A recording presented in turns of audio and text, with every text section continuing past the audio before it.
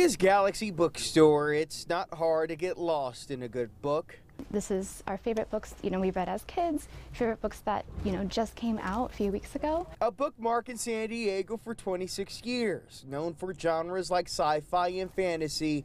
Manager Kelly Orazi says the store is also therapeutic to some. A lot of the times people growing up have made, been made to feel awkward or weird because they like fantasy. They like dragons and magic and all that sorts of, of stuff. Uh, but when they come here, they know they're, they're understood. Now the store is trying to solve its own mystery, finding a new owner and a new place to call home.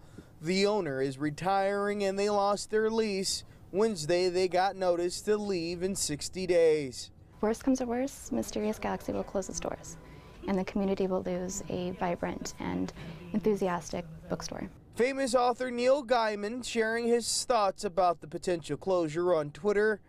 Book lover Alicia Turner is heartbroken. It brings a sense of community because I mean they do book clubs. You get to meet other people that think like you, that love books just as much as you do. Orazi says the store is looking for the right owner to keep its story from ending. We are a team, a family of people who love what they do and who love each other.